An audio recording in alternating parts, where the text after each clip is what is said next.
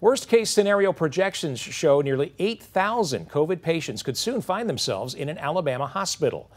And that worst case is looking more and more like reality. Tonight, the president of the Alabama Hospital Association says this Delta variant wave is hitting as hospital ICU beds are already in short supply.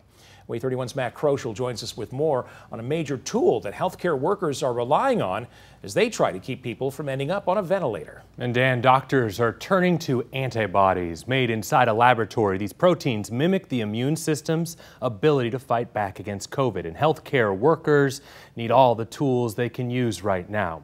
In a little over a month's time, we have seen a seven-fold increase in hospitalizations.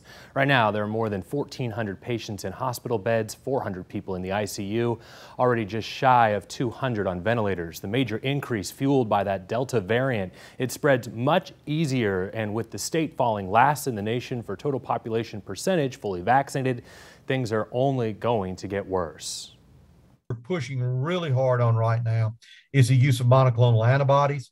Uh, monoclonal antibodies could be a game changer. Uh, given early, they keep people out of the hospital. Given in people uh, who have been exposed to, a, say, a, a family member who has COVID, uh, given as pre-exposure or excuse me, post-exposure prophylaxis, uh, they can actually prevent you from ever developing COVID.